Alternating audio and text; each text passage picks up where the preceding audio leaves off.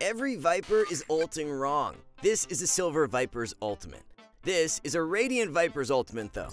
Notice all of the gaps the Silver player left around their ultimate. This is terrible because it will allow the enemy team to surround you and push into the ultimate from all sides of it. In fact, if you've ever killed a Viper trying to exit her ultimate, this is probably the reason why. She placed a bad ultimate and decided she needed to try to leave it to make a play. Why would anyone ever want to leave a giant pit of smoke that makes all of your enemies 1 HP and highlights them for easy kills? By just taking a few extra steps to place a good Viper ultimate that fills up the corners, you'll secure your team way more rounds. Check out Skill Capped for more tips.